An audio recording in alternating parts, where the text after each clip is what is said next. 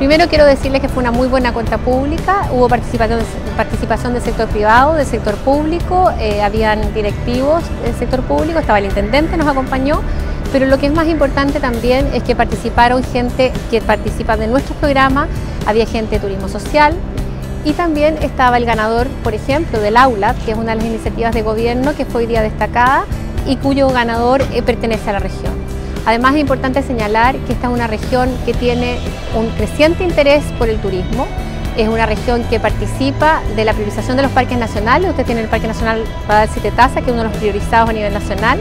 y también tienen una de las experiencias de turismo más importantes que tenemos a nivel país para los extranjeros, que es enoturismo. ¿Y por qué también esta región? Porque fue una de las regiones que estuvo, eh, sufrió los incendios durante el verano. Nosotros hemos hecho una campaña especial de apoyo a las cuatro regiones que se vieron afectadas y por eso también quisimos estar acá presentes.